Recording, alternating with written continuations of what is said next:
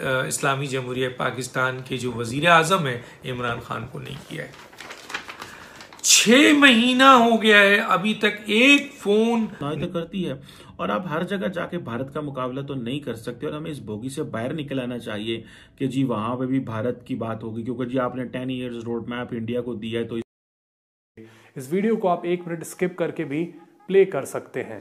नमस्कार दोस्तों, कैसे हैं आप लोग? हम फिर से वापस आ चुके हैं एक नए वीडियो के साथ। तो गाइज़ अगर आपने अभी तक हमारा चैनल सब्सक्राइब नहीं किया है तो प्लीज़ सब्सक्राइब कर लीजिए और इस हमारी बेल आइकन को भी दबा दीजिए। इस वीडियो को लाइक करिए कमेंट करिए और अपने फ्रेंड के साथ फैमिली के साथ इस वीडियो को शेयर करिए। गाइज़ हम बहुत सारे वीडियोस आपके लिए लाते रहते हैं। पूरे न्यूज़ से रिलेटेड जो भी वायरल मटेरियल होता है, जो भी बड़ी बड़ी डिबेट होती है, सबका हम आपके लिए प्रॉपर वीडियो लाते रहते हैं। तो आप हमारे चैनल से बने रहिए। ग्लोबली ट्रैवल करना चाहिए, उनको यूरोप जाना चाहिए, उनको इंग्लैंड जाना चाहिए।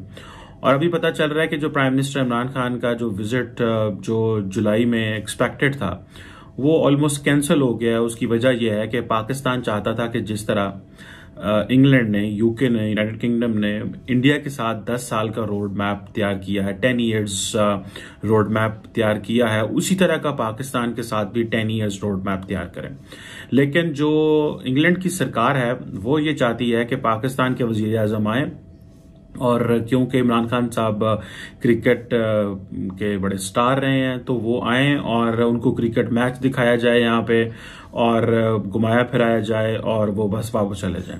लेकिन इमरान खान साहब और उनकी सरकार का कहना यह है कि अगर हमने क्रिकेट मैच खेलने आए और देखा और आ, कोई लॉन्ग टर्म एग्रीमेंट ना किए कोई पीपल टू पीपल कनेक्शंस ना बढ़ाए कोई क्लाइमेट चेंज के ऊपर बात ना की हेल्थ के ऊपर ट्रेड इमिग्रेशन कल्चर बहुत सारे हमारे यूके के साथ जो एक्सचेंजेस हैं तो ऑब्वियसली उसका नुकसान होगा इमरान खान को।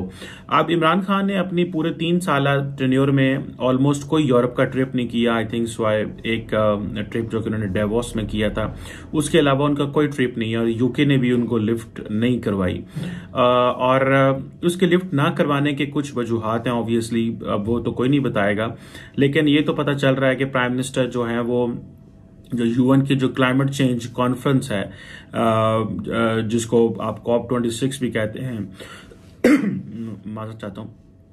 उसके लिए इमरान खान साहब जो है वो यूके जाएँगे ग्लासको जहाँ पे वो जाके उसमें पार्टिसिपेट करेंगे और बताएँगे कि पाकिस्तान ने क्या किया। लेकिन एक चीज़ तो बड़ी क्लियर है कि प्राइम मिनिस्टर इमरान खान को यूनाइटेड किंगडम जो कि उनका बहुत हवाले से जब इमरान खान साहब कहते हैं कि मैं यूरोप को बहुत अच्छे से जानता हूँ तो जो उनका स्टे यूके में रहा है, वो उसके हवाले से बात करते हैं। और इसी तरह अगर देखा जाए कि इमरान खान साहब जो हैं वो उनकी जो सबका अहलियत जमामा खान है, वो भी यूके से थी।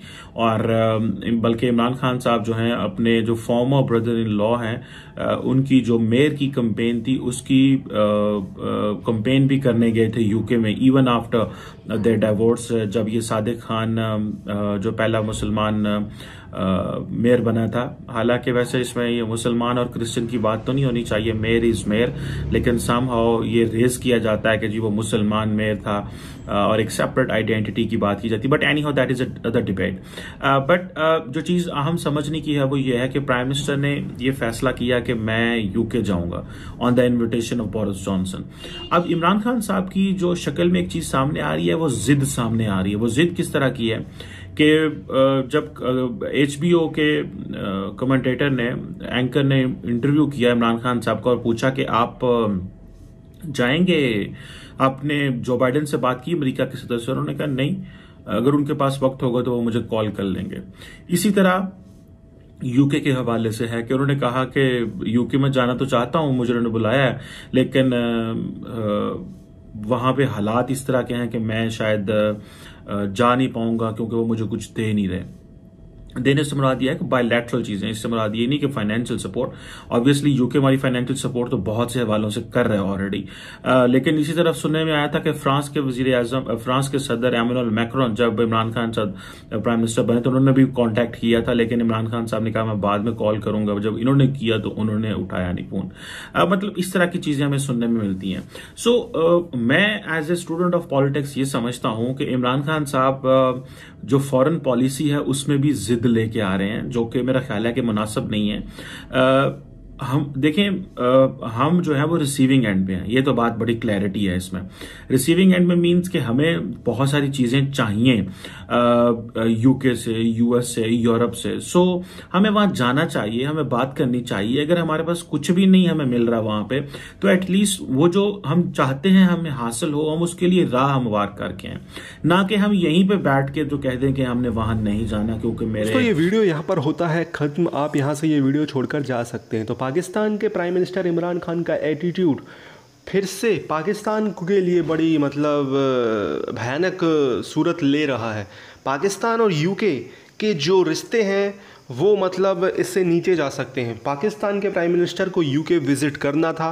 पाकिस्तान के प्राइम मिनिस्टर यूके नहीं जा रहे हैं। उसकी वजह है इंडिया यूके और इंडिया ने हाल ही में आने वाले 10 सालों के लिए फ्यूचर प्लानिंग करके एक दूसरे के हिसाब से पॉलिसियाँ बनाई हैं, जिसको लेकर पाकिस्तान के प्राइम मिनिस्टर की यही डिमांड थी कि मैं अगर पाकिस्तान से इंग्लैंड आऊँगा तो हमारी भी ऐसी ही कुछ पार्टनरशिप बनेगी, जिसको लेकर बोरिस जॉनसन ने साफ़ मना कर दिया। और बोरिस जॉनसन ने बोला, आपको आना है तो आइए, मत तो नहीं आइए। और पाकिस्तान के मतलब प्राइम मिनिस्टर को एक ऑफ़र दी गई थी कि आप वहाँ जाकर एक क्रिकेट मैच देखेंगे उनके साथ। पाकिस्तान वर्सेस इंग्लैंड का ये मैच होगा और जो भी पार्टनरशिप है आपकी हैसियत के हिसाब से वो हम कर लेंगे। लेकिन पाकिस्तान के प्राइम मिनिस्टर को इंडिया से आपको पता है, मुकाबले का काफ़ी शौक रहता है बहुत पहले से तो वो इंडिया के ही कंपैरिजन में पाकिस्तान और यूके के जो रिलेशनशिप है, वो देख रहे थे। लेकिन आप समझ सकते हो दोस्तों, अब इस बारे में मैं ज़्यादा क्या बात करूँ। पाकिस्तान के इमरान खान यही कुछ लेकर अमेरिका जाते हैं, ऐसा ही कुछ लेकर वो यू जाते हैं, लेकिन उनको मिलता है हमेशा क्या? घंटा। कुछ नहीं मिलता है। तो मेरे हिसाब से तो ये बहुत अच्छा है। अगर इनका ये एटीट्यूड ऐसा ही रहा तो बहुत अच्छा है पाकिस्तान को आइसोलेट करने की किसी देश को ज़रूरत नहीं है। अपने आप खुद ही आइसोलेट होते रहेंगे। और आपको भी पता है, ये जहाँ पे भी जाएँगे तो ये इनका मेन मुद्दा है इस्लामोफोबिया। इनका डेवलपमेंट मुद्दा नहीं है, इनका मुद्दा इस्लामोफोबिया बढ़ रहा है दुनिया में। बस तो भाई तुम इस्लामोफोबिया लेकर जाओ, यही सब चीज़ें करो। हालाँकि आपको ये भी पता है कि यूके में कितने सारे लोग सेटल हैं, पाकिस्तान से। इंडिया से भी बहुत सारे लोग सेटल हैं। और यूके से आप रिलेशनशिप ख़राब ही नहीं कर सकते। और यूके हमारी हिस्ट्री से भी जुड़ा हुआ है। बताने की ज़रूरत नहीं है यूके हमारी हिस्ट्री से कैसा जुड़ा हुआ है। तो दोस्तों, पाकिस्तान के जो प्राइम मिनिस्टर का ये एटीट्यूड है, उसको बहुत अच्छे से एक्सप्लेन किया कमर चीमा ने। कमर चीमा इस समय काफ़ी सेंसिबल बातें कर रहे हैं। तो आप इनकी बातों से डेफिनेटली एग्री करोगे। तो इस बात को लेकर पाकिस्तानी मीडिया में भी कुछ खासा कवरेज नहीं मिल रही है, क्योंकि आपको भी पता है कि इमरान खान का ये डिसीज़न पाकिस्तान के मीडिया वाले अब क्या इस पर बात करें? अगर कोई वीडियो आता है, स्पेशली फ़िज़ा खान का तो वो वीडियो बहुत जल्दी इसी चैनल पर आपको मिलेगा। आपको करना क्या है? अगर आपने ये चैनल सब्सक्राइब किया हुआ है तो आपको नोटिफिकेशन बेल दबानी है। और अगर नहीं किया तो पहले सब्सक्राइब करो, फिर दबाओ चैनल को, शेयर करो, वीडियो को लाइक करो, कमेंट बॉक्स में अपने सुझाव ज़रूर दो। धन्यवाद दोस्तों, वीडियो देखने के लिए, जय हिंद।